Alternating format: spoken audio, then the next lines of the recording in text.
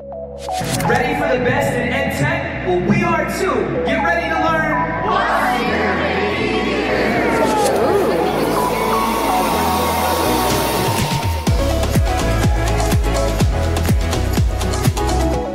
Hey everybody, welcome back to What's New in EDU. I'm Toney, a fourth grade teacher from Hackensack, New Jersey, and I'm here on the Bett showroom floor.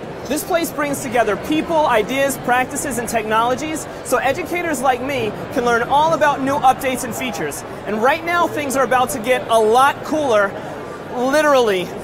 I can feel it right now. I'm being transported to a frozen environment with the help of Melinda. That's great, Toney. Thanks. Melinda, you gotta tell us more about this. I know that you're using Microsoft Photos. How are you able to make all this happen? So, Photos now has a video editor. So, we've got text, filters, motion, but best of all, special effects. Awesome. So, let me show you how we can get this video view that we just took right into our Photos app. Great, I'd love to see it. So, this is the video editor. Let's add a ad from mobile. This is the Photos Companion app we're working on, built with teachers in mind. So Where, gonna- where are the wires connecting it? There are no wires. It's transferring wirelessly from this device to the other one. Awesome. So this file is going to be added directly into my video project, so no need to hunt for it on your PC. There it is. Look at that. So we'll drag this down to our storyboard.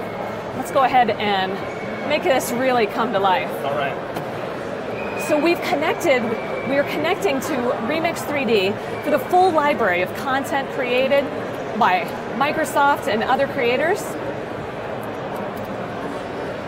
Let's see if we can get you a penguin friend.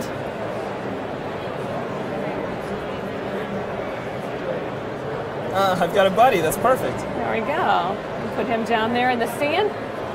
Let's add, also, to really make that come to life, we'll add some snow, extend it for the length of the clip, and then add one more icy blast.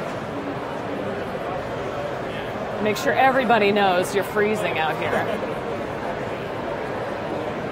It's super easy to move these effects around and adjust when they start and stop on our timeline. It's incredible. So let's see how we did.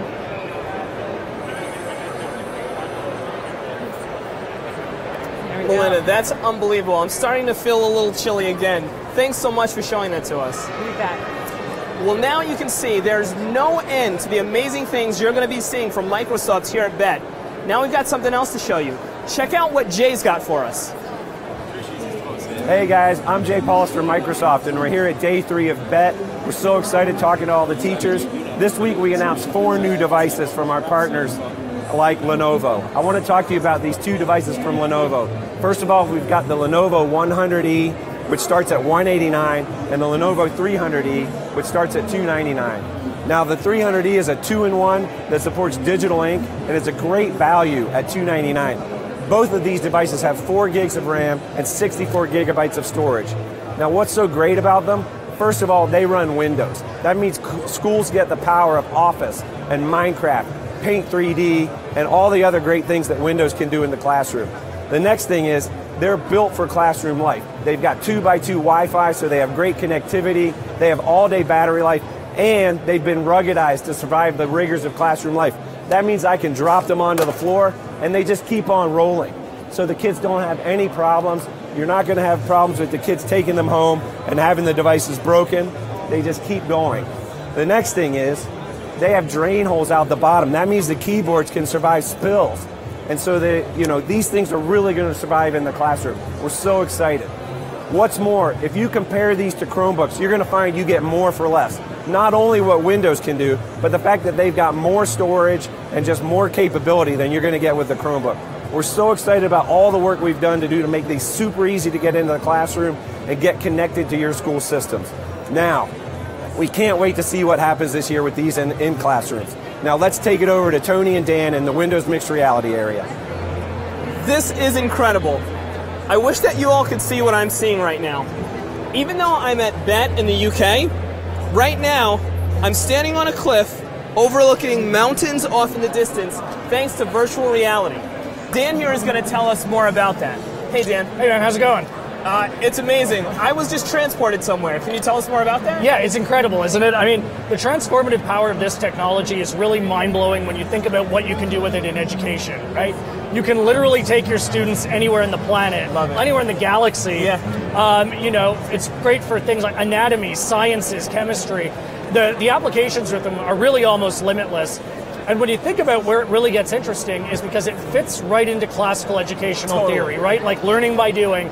So just imagine as a teacher, rather than simply doing a lecture, you can do some kind of lecture and then put students into whatever it is you were just talking about to reinforce that learning. And that's where we see things like grades go up, retention goes up, engagement goes up, right? It's just like so much exciting for the students as well. Right. And you know, you were you were on the Cliff House checking that out, but we have tons of content, and you know, some of the content we're really excited about at the show here today. Uh, for example, is Pearson, right? Pearson, Yeah. one of the like leading developers of curriculum in the planet. Sure. And you know, we're going to be doing six applications with them, spanning a range of grades, so like everyone can kind of get in there and check this out. So it's it's really really incredible. Um, a couple of things I think at the end of the day, it's all comes down to the teachers, right? Yeah. Like this is just another tool for the teachers to use, and it's up to them to best decide how to use it. So when I'm talking to teachers and they ask me, like, you know, same thing, hey, this is amazing.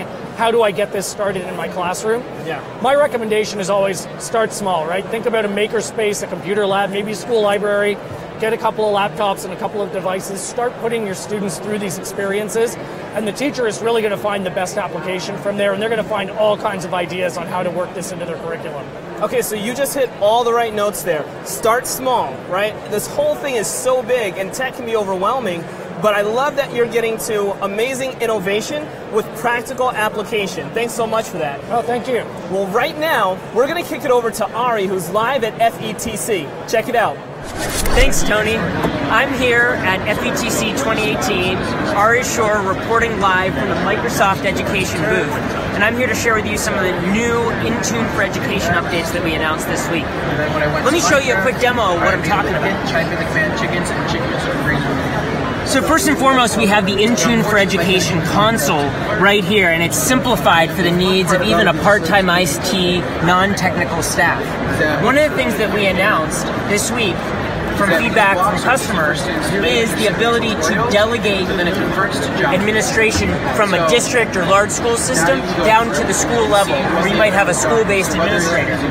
So here, if you go into groups, for Contoso High School, you actually see the ability to see the Contoso High School admins, who are the admins for their devices and users at the school level, and only they, only their devices and users are the ones that they can manage. The other thing we announced are things like the ability to add Wi-Fi profiles.